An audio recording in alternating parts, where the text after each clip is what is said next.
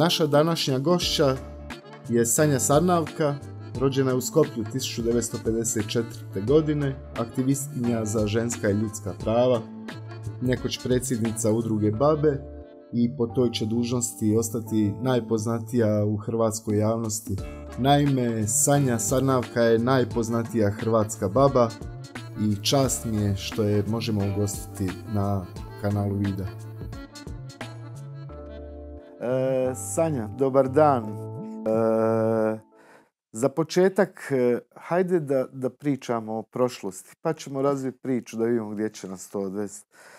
Dakle, e, zanimljiva mi je Sanja tvoja obiteljska priča. Tvoj otac je bio partizan koji je ujahao na konju u oslobođeni Karlovac 1945. godine i tamo upoznao tvoju majku, profesoricu posvećenu svome poslu.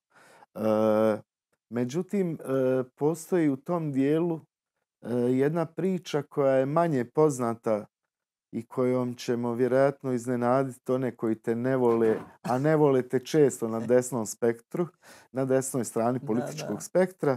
Dakle, e, prvi muž tvoje majke je stradao na Blajburgu.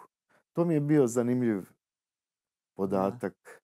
Na križnom putu, da, jer je on je bio profesor povijesti i radio je u stvari danas i prije radnička ova biblioteka na uglu Šubićeve, ali je nosio radnu uniformu neka, valjda se to tada tako nosilo i uglavnom eh, je 45. kad je bilo jasno da će izgubiti znači NDH, eh, mama kaže da su tada govorili svim ljudima bježite, pobiće vas. I tako je i on krenuo, ona nije krenula jer je bila u visokoj trudnoći i bila je ona priča kad on dođe do Austrije onda će poslati po nju jer ona nije mogla u takav zbjeg ići sa velikim trbuhom i onda je on ubijen, ona ga je mjesecima tražila, tako da je moja sestra, to je užasna riječ, ali ono posmrće, dakle ona je rođena u srpnju, dva mjeseca nakon što njega više nije bilo, ne. Tako da, a ja mislim da me ta priča jako obilježila jer te nauči da, isključivost, da su isključivosti užasne i glupe i da ne postoji crno-bijeli svijet i da moramo svi razumjeti kontekst kada nešto pričamo, znači zašto se nešto nekada dogodilo. Dakle, i niti su svi ljudi na jednoj strani koja nije moja strana zli, niti su svi ljudi na onoj strani koja je formalno ili ideološki nekako moja dobri. Ne. Potom, taj Vlajburg je u Jugoslaviji bio naravno tabu tema. Kad da. si ti saznala obzirom pa, da na tu Pa moram reći da mi je to jedna od stvari na koje sam užasno ponosna, iako ne razumijem kako je to moguće, jer moja sestra je devet godina starija od mene, dakle i e, nije me baš voljela, išla se mi užasno na živce što razumijem danas, a tad mi je naravno bilo teško zbog toga jer su puno obaveza na nju stavljali, ono kao toliko je starija sestra pa daju, morala me svugdje vukljati sa sobom i naravno da se mi išlo beskrajno na živce. Međutim, ja sam bila jako znatiželjna i onda sam kopala kad nije bilo mame i tate po svim mogućim ormarima da vidim što se krije u njima. Između ostalog sam našla papir koji ja možda nisam do kraja razumjela, ali je bilo je evidentno da je, e, on, da je moj tata posvojio nju, kao dao joj papir je bio gdje se stavlja njegovo prezime kao njoj. I ja sam bila tada četvrti razred osnovne škole ja nikada do trenutka dok nam roditelji nisu to rekli, a rekli su nam tek kad se ona udavala, kad su je morali reći, kad je morala ići po izvorne papire i za nju je to bio strašan šok. Nikada ni u jednom svađi ja njoj nisam rekla ti nisi meni prava sestra i nikada u životu nisam izgovorila da mi je polusestra jer mislim je sestra i moj tata Dakle, zbilja ni u jednom segmentu se nije moglo vidjeti da postoji nekakva razlika u ljubavi, i emocijama prema njoj i prema meni. Tako da tek kad su roditelji rekli, ja sam rekla pa ja to znam već godinama, na što su oni pali u nesvjesne. A sestra je to dosta teško podnijela i onda je išla tražiti tu obitelj, ali mama je tada rekla da ju nije ta obitelj volila, moju mamu. i jedno vrijeme je bila ono, mrzila je moje roditelje, a s njima se povezala da bi onda nakon jednog godinu dana shvatila da ti ljudi baš nisu ono što nju usrećuje i da stvarno je ona dan danas stvarno mog tatu kad priča, priča samo u superlativima jer je zbilja bio izuzetan čovjek. Ono. I kad, kad si ti, Sanja, dakle, doznala za taj Blajburg, za taj pa križni put, da su ljudi tamo ubijani? O tom se naravno nije govorilo glasno, nije se govorilo maltene niti u četiri zida. Pa nije, nije, iako je, i moj tata uopće nije volio o tome govoriti, makar ono je u nekim rečenicama njegovim se vidjelo, se, on je recimo meni ispričao priču ne znam šta mu je bilo jer baš nije uopće volio o toj prošlosti puno govoriti, e, da su imali da kako seljaci jako teško odlazili u rat i boriti se jer njima je njihovo imanje, njihova stoka, to je njima svetinja i on kaže imali su, slon se borio u Sloveniji. To je opet druga priča zašto je on bio u Sloveniji. Uglavnom ovoga e, je jedan seljak e, bio s njima u partizanima Međutim, i na početku, jer je u Sloveniji pogotovo tamo su bile različite stranke, ono, bilo je vrlo različiti ljudi, različitih i socijalnog podrijetla i obrazovanja i svega, ali onda se polako to sve počelo stezati, znači postaje ono komunistička partija ta koja organizira i veže sve. I to se tom čovjeku koji je bio jako hrabar nije svidjelo i tata kaže da sumnja i htio je, razmišljao je da se povuče iz Partizana, a osim toga su oni mislili na to kako bi trebalo još dobiti seljaka da se dođu boriti i on misli da je u stvari bilo, da su partizani ubili ovoga, prikazali da su ga ubili Njemci, da bi e, se digao još veći pokret otpora i da bi više ljudi ušlo unutra. I to je jedna od priča koja je meni ostala puno sam ih zaboravila, ali tam je ostala jako zabilježena što ideologije mogu raditi, mislim kad su rigidne i kad nema u stvari one nekakve dubine i ljudskosti, mislim, na pravi način. Tako da je ta, meni je tata negdje bio taj moralni negdje uzor. On je recimo kao spomeničar ne i kao partizan od prvog dana ovoga, e, dobio je nekakvu povoljnije zemlju na moru u Novom Vinodolskom. On je to po istoj cijeni prodao jer je njemu bilo nezamislivo da on se borio zato da bi imao nekakvu vikendicu i nešto povlašteno. Tako da ovoga, nisam baš bila pametno za ovaj kapitalizam pripremljena. Ono što ljudi koji te ne vole E, ne bi također nikad povezali s tobom je to da si ti bila ajmo reći oduševljena vjernica. Pjevala si u crkvenom zboru kao mala. Bila... Ma da, dobro. E, to je bilo više zato jer su sve prijateljice i kad meni neko počne pričati, sad sigurno je bilo problema, ali u Zagrebu ne. Meni su sva djeca iz mog razreda, ja sam u Križanićevu išla i to je tada bilo danas gdje je klasična gimnazija i tek u osmom smo prešli u Laginjinu jer je sagrađena tada Laginjina nova škola. Svi su išli u razredu skoro, ja mislim 85% i sad naravno kud će svi tudi mujica za njima. Meni je to bilo strašno zanimljivo, ali osim toga to nije bila tabu tema. Mislim, moja nona je bila, jedino što je se sjećam, nisam baš tu nonu voljela. Ona je cijele dane hodala s krunicom i molila mamina grosa u Podravini je redovito išla u crkvu isto i moja bakica s kojom sam živjela, teta, koja je u stvari odškolovala moju mamu, je isto bila vjernica, ne? Ali više je bilo to, ajde, kud idu djeca i onda sam ja išla naravno u Palmotićevu u srce Isusovo. Naravno, rekla sam im da je moj tata oficir, mislim i da baš svećenik ne treba dolaziti blagostivljati naš stan, da to ne bi bilo, toliko sam bila već i tako mala svjesna ali tatin brat je bio koji je svirao u filharmoniji izrazito religiozan i obiteljski je bilo uvijek za badnjak smo mi išli k njima na večeru, a oni su nama dolazili na staru godinu. Mislim, i mi smo lijepo pjevali.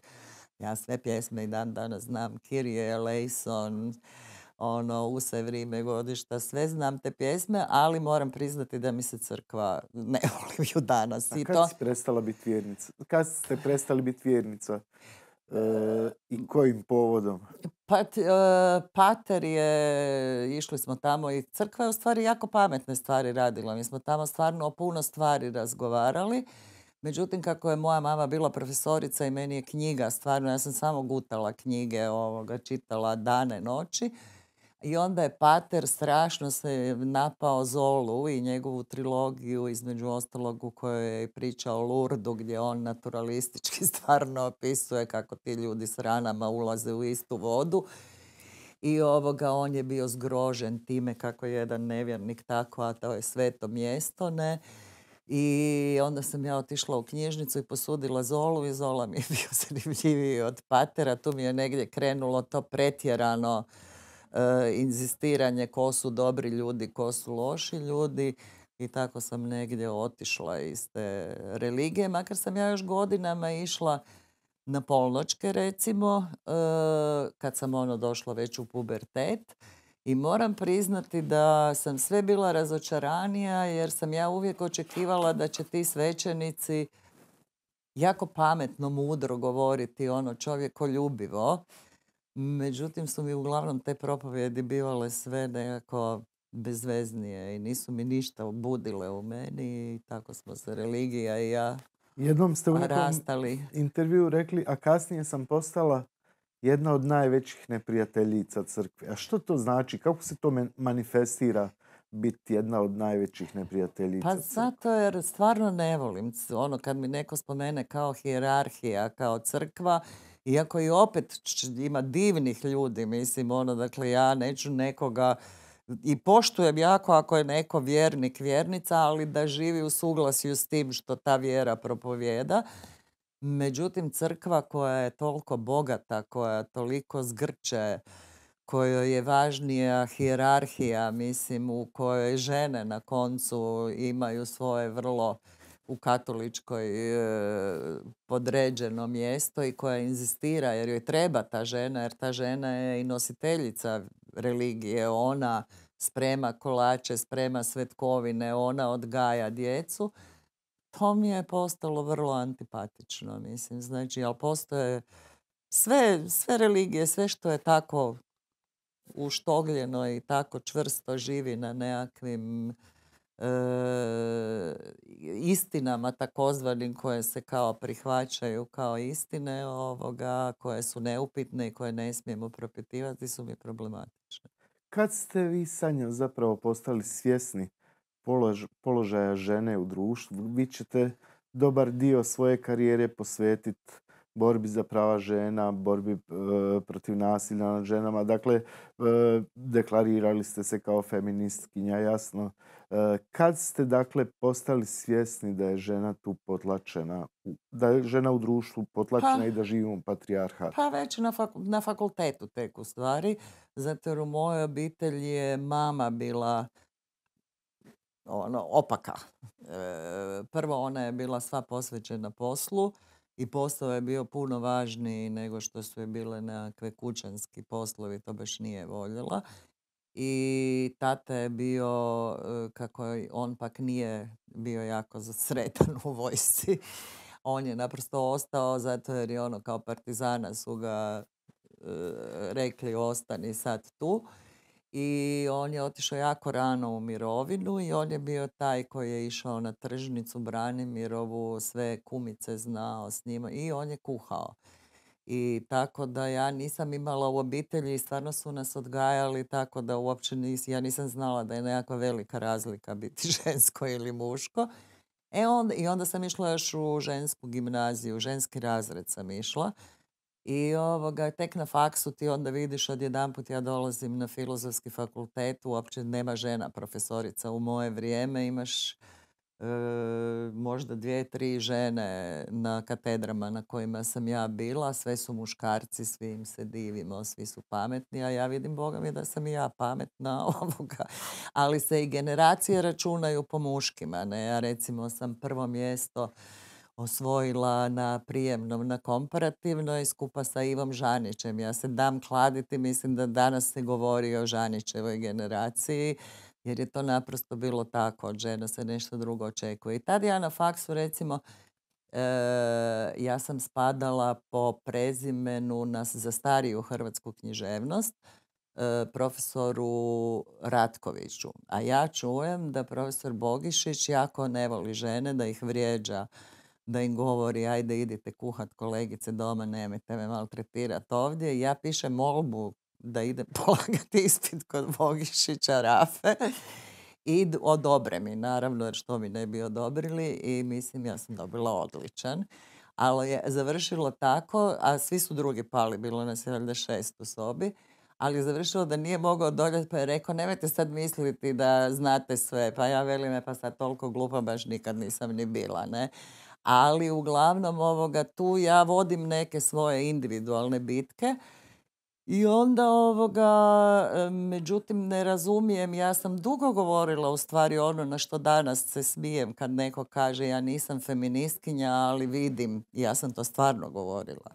Jer je u Klajićevom rječniku stranih riječi pisalo da je feminizam ono tipičan za buržoasko društvo u kojem žene nisu postigle sve što su mogle, a socijalizam je naravno taj koji obožava žene i cijeni ih. Mislim, naravno da žena nema ni na vidiku ovoga, mislim, ali socijalizam ga bar u teoriji ih obožava i priznaje im ravnopravnost.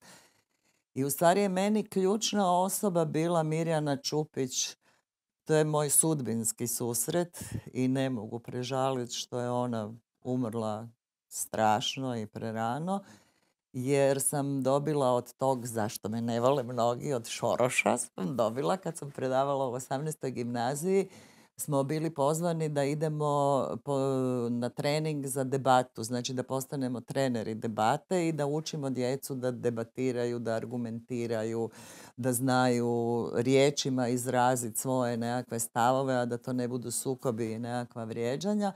I dolazim u Crikvenicu na taj trening i tamo mi kažu da moramo biti u dvokrevetnim sobama i sad ja prvo ono, ne volim biti s nekim kog ne znam ja na sve načine pokušavam izbjeći tu dvokrevetnu sobu, ne mogu i na koncu odem u sobu jer sam prva došla i ono naravno složim sve užasno uredno u strahu s kim ću biti. Još sam iz Amsterdama donijela nekakav otkačen šešir i njega sam nabila na nekakvu lampu kao da se ne bude izgužvan i sad se mi družimo i naravno odmah se nađu ljudi isti propaliteti recimo, ja idem u tu kategoriju uvijek jer smo lumpali, smijali se, pričali viceve.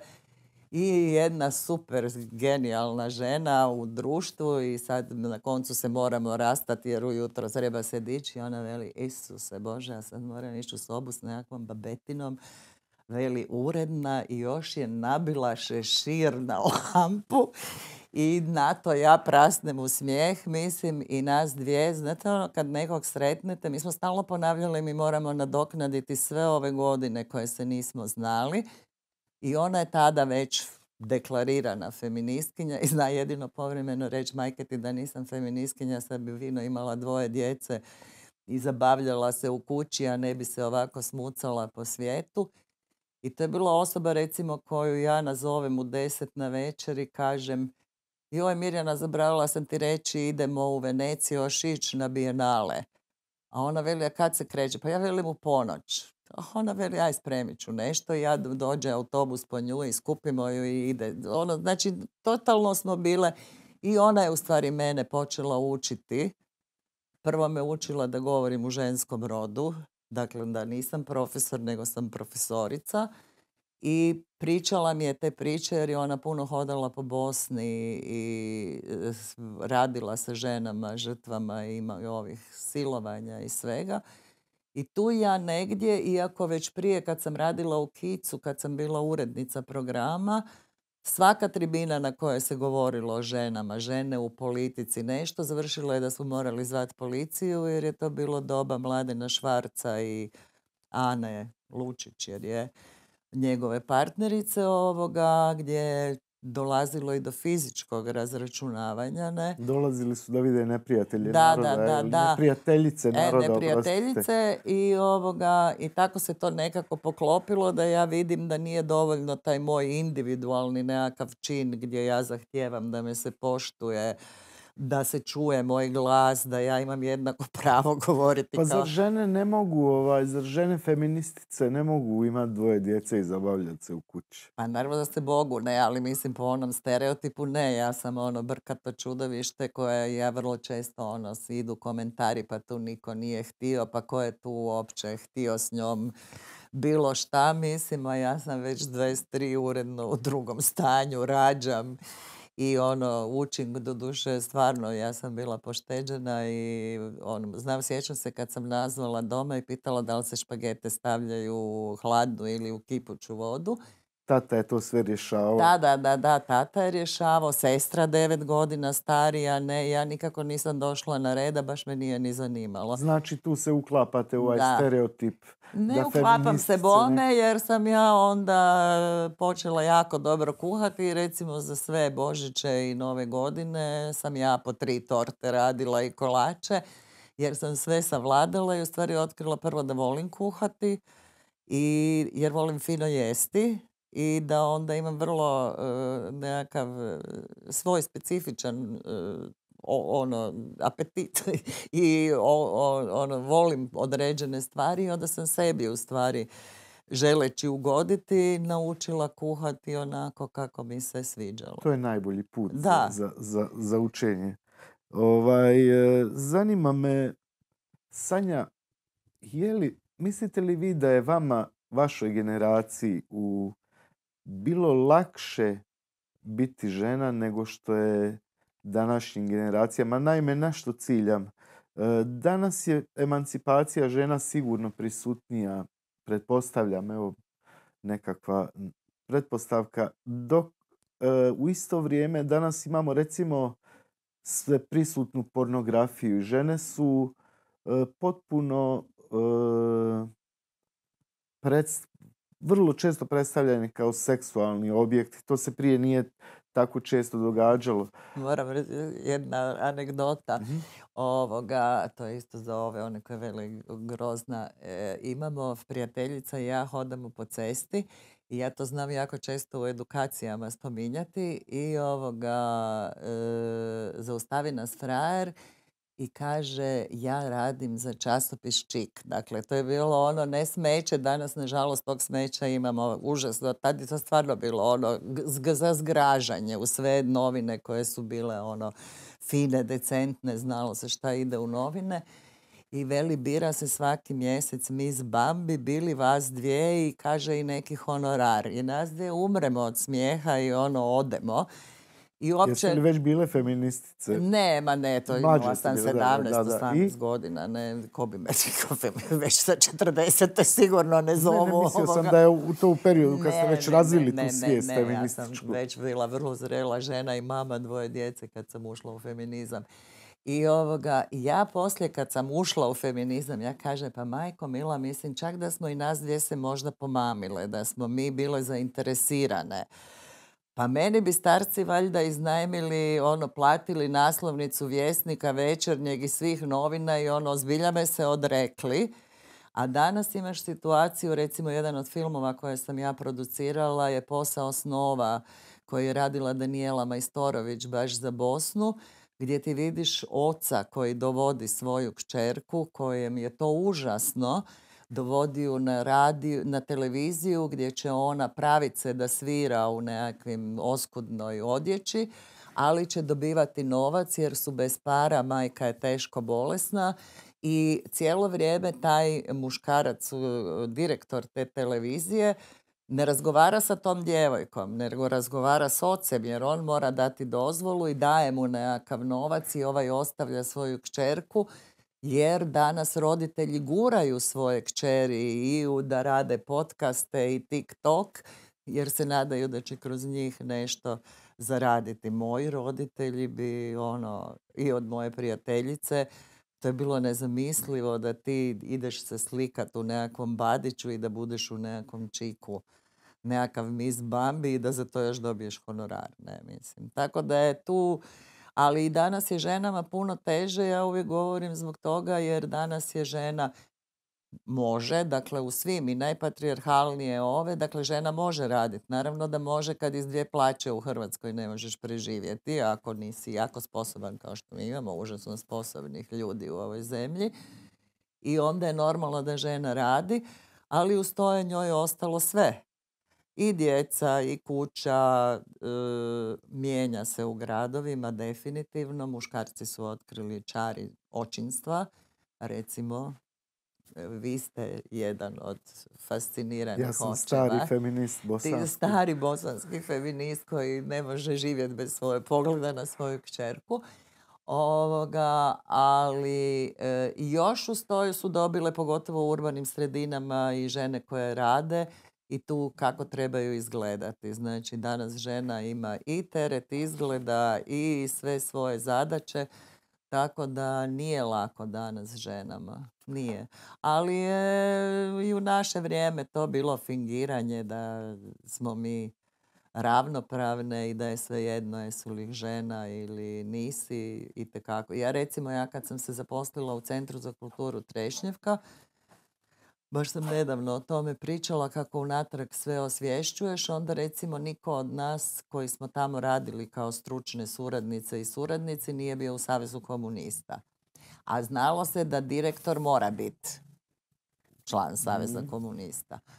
I onda kad smo imali natječaje za te jedno tri puta, dok sam ja bila tamo, onda vam nema ni jednog muškarca da se javi, jer e, muškarci znaju da ako nemaju na svom poslu e, partijsku tu čeliju koja mora imati najmanje pet osoba, oni moraju ići u svoju mjesnu zajednicu.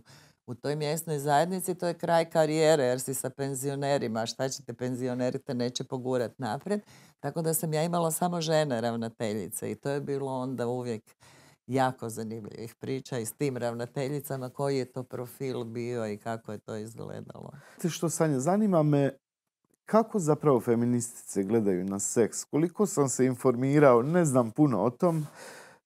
E, ne, prvo znam da u patrijarhalnom društvu e, ta vizija seksa je uvijek takva da je muškarac neki predator, on je lovac koji će uloviti nešto, udari nekom toljagom u glavu, odvede u pećinu i napravi dijete. E, pretpostavljam naravno da, da, da, feminist, da je feministicama takav pristup stran. Kako izgleda alternativna slika seksa? Dakle, ona koju...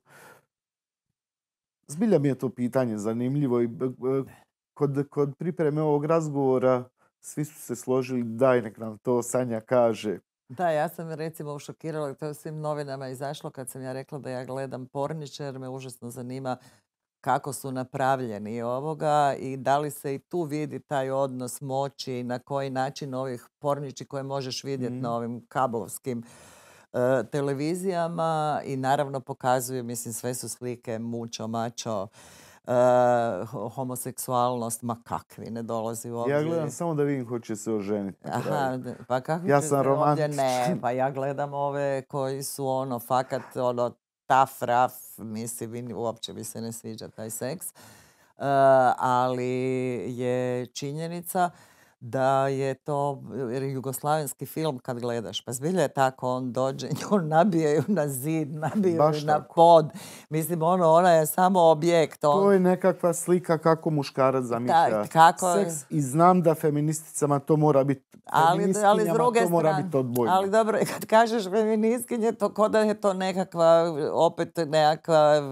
Pa svakom ko je svjestan nekakve ženske pa pozicije. Pa da, ali ima toliko razlika, recimo ima velikih razlika razlika i ima velikih neslaganja u pitanju prostitucije, kako gledati na prostituciju i e, nemamo mi jedinstven stav, mislim, ali u svakom slučaju je zahvaljujući feminizmu, ja mislim baš zahvaljujući feminizmu i ta ženina seksualnost konačno došla do izražaja. Mi recimo imamo vaginine monologe od Eve Ensler koji su stvarno izvrsni jer je ona idući po Bosni i se razgovarajući sa tim ženama se vidjelo, mislim kad žena uopće kaže nikada nije pogledala dolje i uopće ne zna što je dolje, znači jer ju niko nije rekao da i ona ima pravo na nekakav užitak i da ona ima pravo e, biti subjekt u tom odnosu. Naravno da nam je svima seks bitan za Boga. I onda je sad samo naravno pitanje koliko ćemo sebi dopustiti da tu seksualnost oslobodimo i da budemo ono što bismo htjele biti i kako ćemo mi postići taj užitak, a ne služiti samo nekome da ono dođe do orgazma i poslije toga okrene leđa ili zapali cigaretu i gotova je priča. Ne? Ali kažem, nema tu nekakvog jedinstvenog e, stava i meni se vrlo često čini, mi s jedne strane imamo tu seksualiziranost u medijima, a s druge strane imamo ovaj retrogradni, ne Merkur, nego ovaj fundamentalizam koji je meni strašan. I ja kad gledam svoje unuke, mislim recimo to pitanje pobačaja koje je danas opet aktualno, mislim u moje vrijeme uopće nije bilo nikakva ono, naravno da si imala pravo na prekid trudnoće na vlastiti zahtjev, naravno da ti imaš pravo odlučivati i ja sam recimo tada u moje vrijeme kad sam ja bila mlada je postojalo to savjetovalište u Klavićevoj bolnici koje je pokrenula opet jedna jako pametna žena, doktorica Štampar. I tamo si mogao normalno, bez uputnice, bez ičega, samo se čekalo dosta dugo u stvari jer nije bilo puno takvih mjesta da dođeš i da ti objasni sve o kontracepciji, mislim o zaštiti od spolnih bolesti.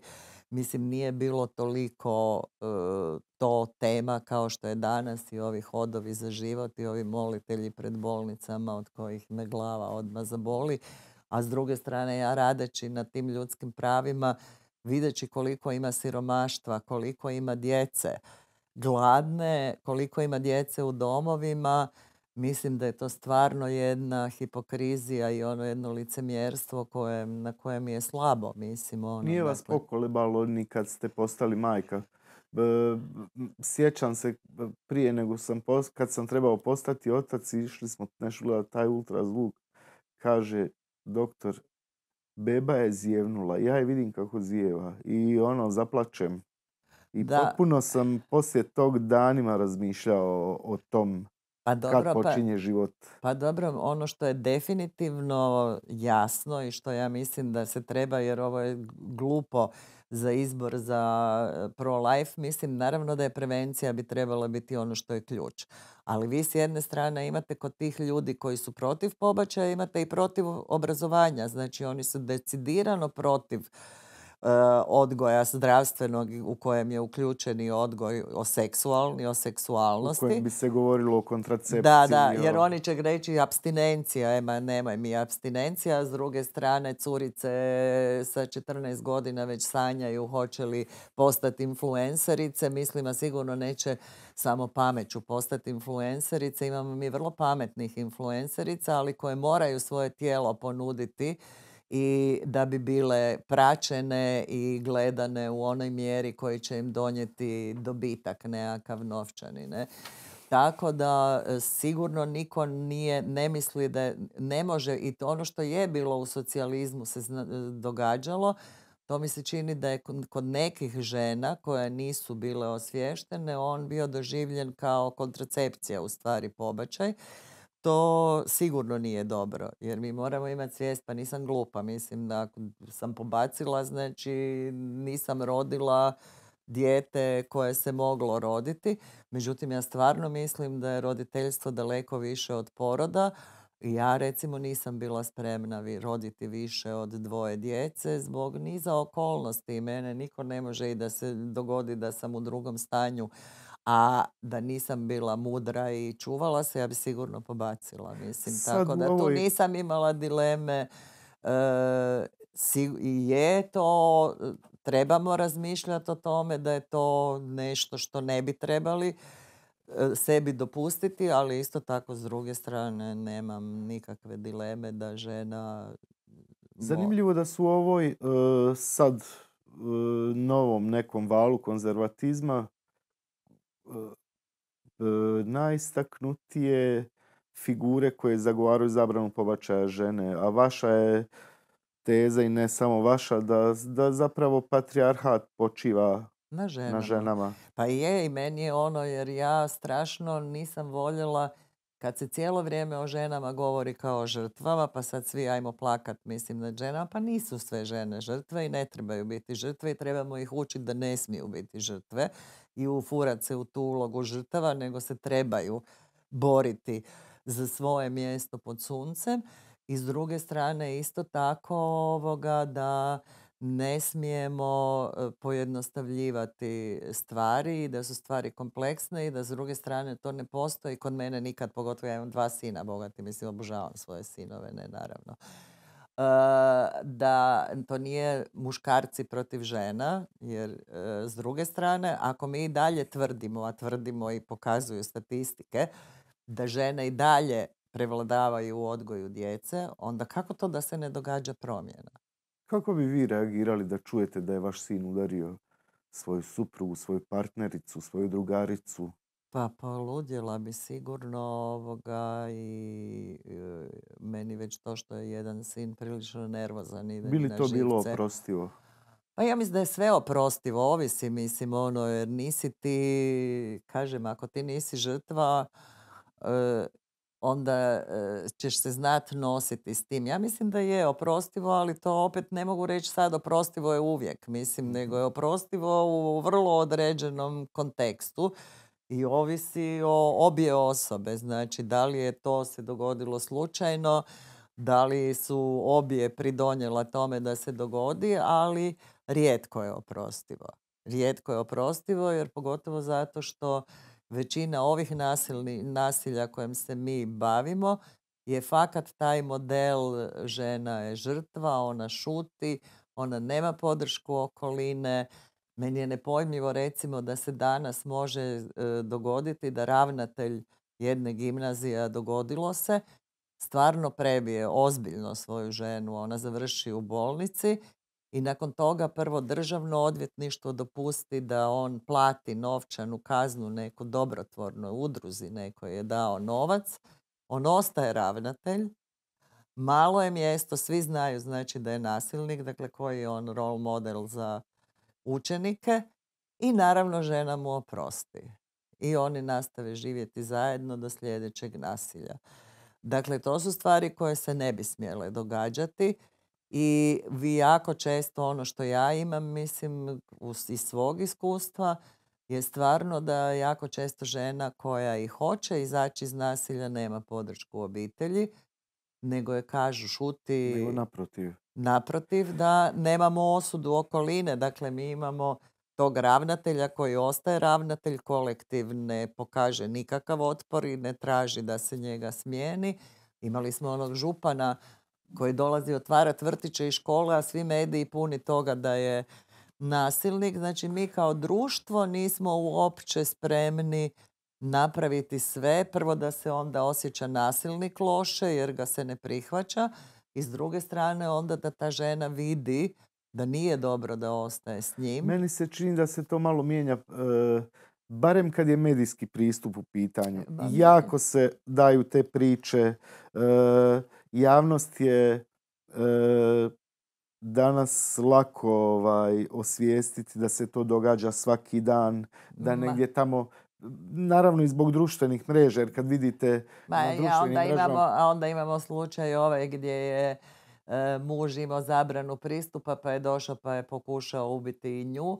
I onda naravno imamo ove desne medije koje kažu došao je u svoj dom, a ona je bila s ljubavnikom a ovoga, drugi ajde su fini pa onda kažu došao je u svoj dom, a ona je bila s prijateljem i onda naravno komentare neću Nije bilo druge nego da je ispadne, A šta mu je drugo preostalo? Na koncu ispada da je bio podstanarski stan, niti je bio njegov dom, oni su već bili razdvojeni. Znači, ali tu imamo mi puno razumijevanja za takvu ovoga situaciju i ja, inače doduše kad čitam ove... S obzirom e, sanjam da ste vi iskusni u tom, na tom polju. E, zapravo kroz vašu karijeru možda je najistaknutiji taj dio gdje vi radite u babama i e, gdje radite da. baš nasilje nad ženama.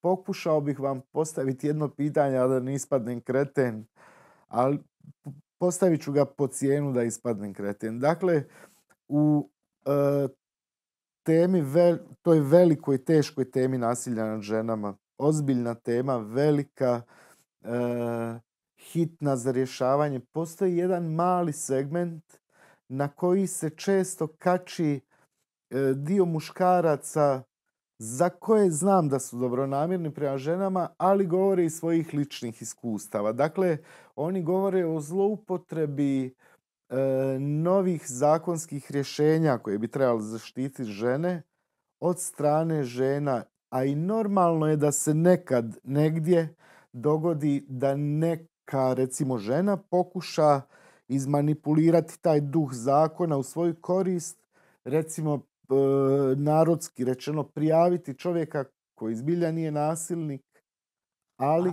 događa se, naravno da se događa. Kako pa zaštititi E pa kako baš me, pa baš me briga, nek se muškarci brinu kako će to zaštititi. Ali, kad, ali jer... kad, se e, oni jave, onda ih se mm. osramoti. Kao zašto se javljaš s tim kad je tema ovo? Pa, e, Na neki način im se uzima glas. Ma ne uzima se. Ne. Mislim, ne. Evo, ja moram reći da sam u svim ovim godinama e, nedavno za istraživanje koje sada radim prvi put bila sa muškarcem koji je stvarno ozbiljna žrtva nasilja i zbilja sam s njim ono obavila razgovor i suosjećala s njim i potpuno je jasno da je on žrtva. Ali je tu opet bila situacija u stvari za to fizičko nasilje da je žena uspjela svoje dijete natjerati da ga fizički e, pretuče, a njezino je bilo zlostavljanje na e, različite druge načine. Želim se samo... E, ali to moraš imati to, mislim, ovoga na pameti, da je to taj odnos da nema muškaraca kao žrtava, opet posljedica patrijarhata. Prvo, vrlo često dobri muškarci idu ženama na živce za ovim patrijarhalnim ženama koje su odgojene da je muškarac mačo i da on mora biti gazda, da bi on trebao zarađivati više, da bi on trebao brinuti o njoj i njoj priuštiti nešto. E, to je jedna stvar i s druge strane imaš taj sram muškaraca koji neće izaći u javnost i reći evo ja sam taj i taj, ja sam žrtva bilo nekog ozbiljnog nasilja. Jer kod ovog muškarca si imao i to da je ona bila vrlo lukava, da je ona poklonila, da on to nije shvatio, poklonila stan sinu jer je na taj način mislila da će njega uspjeti izbaciti.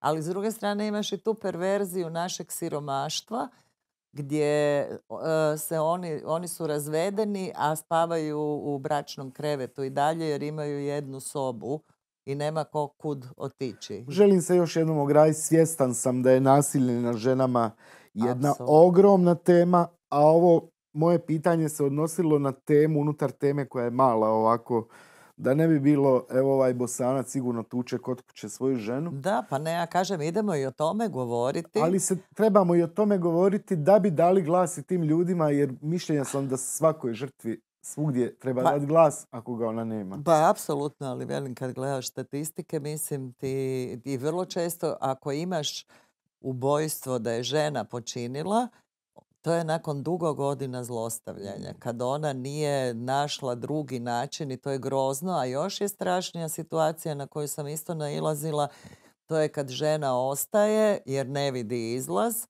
i kada na koncu dijete kad odraste postaje ubojica jer više ne može gledati nasilje koje trpi njegova majka. Ne? Mislim, Imam ovaj, u Bosni jedan primjer, poznajem jednu sutkinju u Bosni, to mi je prijateljica i pričala mi je da je tamo negdje 95. 6. pred njenog kolegu suca izišao čovjek optužen za obiteljsko nasilje i rekao doslovno E, gospodine sudac, kakva su ovo vremena došla da ja ne mogu svoju ženu istući. Da, a mene onda, onda to onako prebacilo meni se čini da iako je socijalizam e, deklarativno dobro štitio žene, deklarativno. u socijalizmu je e, to nasilje na ženama, bar u nekakvim malim sredinama, to se podrazumijevalo kao nešto, ono, prelazilo pa se preko tog leva leva. Pa ja se recimo sjećam kad, da je moj tata jer smo imali u jednom trenutku susjeda koji kad se napio je e, išao tuđ ženu i moj tata je reagirao i zvao je policiju i da je policija bila mrtva, hladna, pa šta bi mi sad tu trebali ovoga raditi. trebali raditi, ne znači. Kao da je, je... konja kupio. Pa, a ne, ne možeš ti konja udariti tako. Pa ne, pa bilo je nasilja, mislim, pa žene, kad je autonomna ženska, kad je skvotiran stan, E, i kad su one počele baviti se sa ženama, žrtvama nasilja, pa one su morale hodati u perikama, e, maskirati se jer im niko nije htio pomoći. Mislim, ono, danas ti zahtijevaš, ja sam rekla danas više ja ne bi ni tajnu adresu toliko inzistirala na njoj, jer ja danas zahtijevam od institucija da, reagiraju i da. žena bude sigurna, a ne da se ona skriva, a on se šepuri u svom stanu. I traži gdje je ta da, Ali nažalost to vidiš u našem sudstvu, mislim da imaju najviše suci, imaju razumijevanja za nasilje. Ili opet s druge strane sve ok, policija najviše napravi, ali ja već se evo dvije godine bavim slučajem žene gdje je on specijalac i gdje policija ne odrađuje, iako su napravili e, pravilnik po kojem se dobiva automatski otkaz ako je dokazano da si nasilnik, ali kod ovoga nikako da dokažu ovoga nasilje da zlostavlja svoju bivšu ženu. Ne? Mislim tako da dok društvo i institucije ne počnu raditi stvari kako treba, uvijek će biti naravno nasilja. Ne možeš ti sve predvidjeti. Ja uvijek mm. kažem ne možeš, uvijek treba ispitati da li su institucije i mogle nešto napraviti, ali se vidi kad su mogle da nisu napravile ono što bi trebalo, a pogotovo kažem tu sudstvo prednjači u svojoj divnoj blagosti i puno razumijevanja za nasilnike, za krađe, za korupciju. Sve naše kazne su ono tragikomične vrlo Milost često. jedan od temelja katoličanstva. Sanja. A, ovaj, milost, da. E, Ili ono ubiješ, ali ajde tri, joj, to je da najbolje kad... Ubiješ, ispovjediš, ispovjedi, E, ali recimo moja prijateljica... A ne, to je smrtni grijeh. Ne, ne, ali moja prijateljica kad je rekla da je ugradila spiralu, onda je njezini svećenik rekao da je to smrtni grijeh i da za to nema oprosta. Nema. Nema, spirala je, spirala je koma, ali ubiješ, evo ti 15 zdravo Marija i sve. E, zato ne volim crkvu. E, zanima me, Sanja, ko se sjetio imena babe? Njemu bi e, dao neku nagradu. Pa ja mislim da je u stvari Aida Bagić. E, to je bio kolektivni rad i to ja tu nemam nikakve zasluge ovoga jer ja sam došla u babe kad su već mm. bile babe. jer je Vesna Kesić u stvari ta koja je shvatila da je dosta u Centru za žene žrtve rata baviti se samo stvarno posljedicama, da moramo ići proaktivno. I ona tada osniva BABE kao organizaciju koja će se baviti javnim zagovaranjem, koja će se baviti zakonodavstvom, e, čini pravosuđem. se da ćete vi po babama ostati najpoznatiji. Pa da, kad god kažu baba Sanja Sarnavka i vaše ime je na neki način e, u jednom dijelu javnosti postalo psovka. Kad kaže Sarnavka, odmah se zna na što se misli. Ono, Sarnavka, baba, pa čak je i predsjednik Milanović to iskoristio da bi dobio koji politički bod na desnici. Pa nešto, zašto sad nema Sarnavke da brani Zlatu Đurđević, a vi ste u tom trenutku već u mirovini.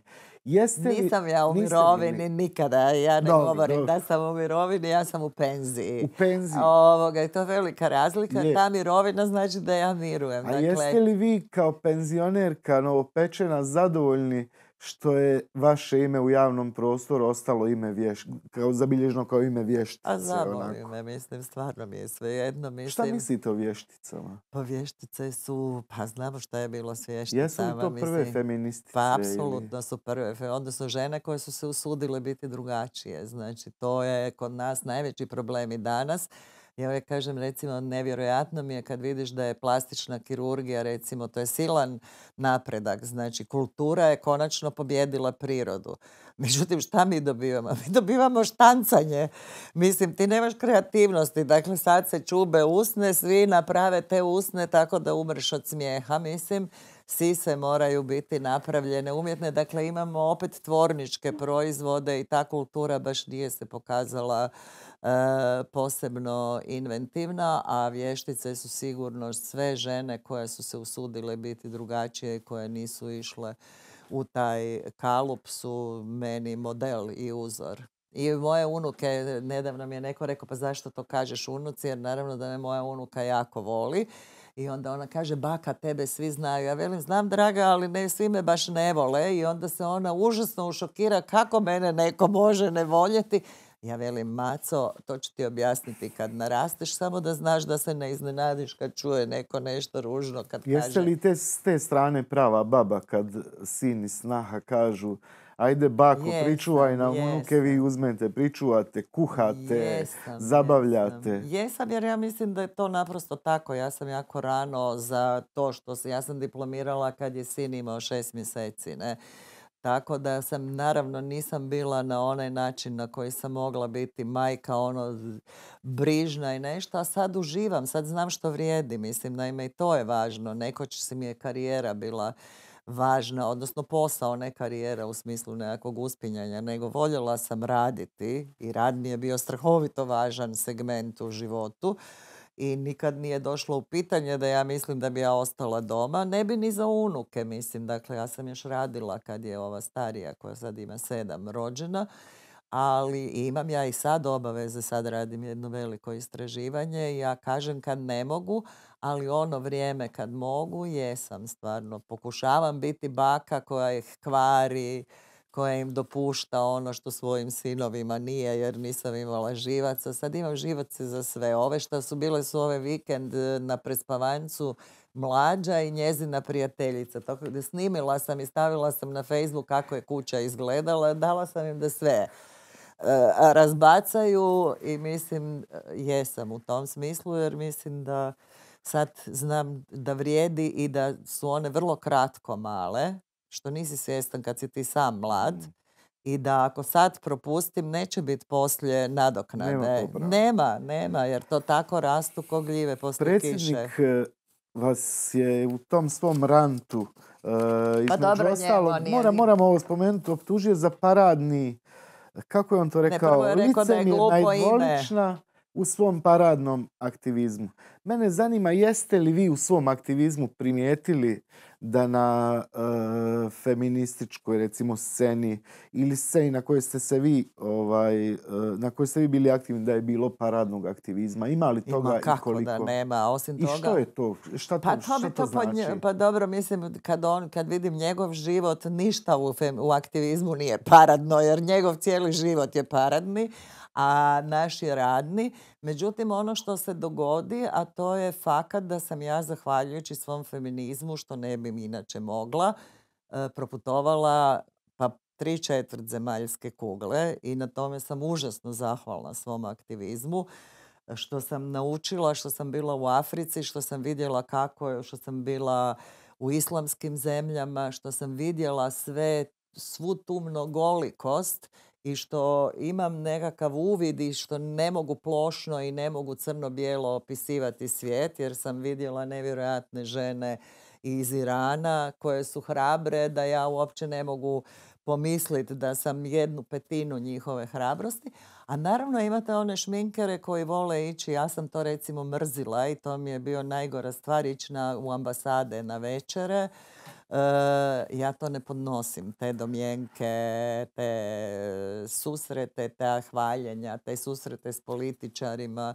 Znači imate onih koji su spretni, koji u stvari ne rade s ljudima. Dakle, ja sam stvarno prešla tisuće kilometara.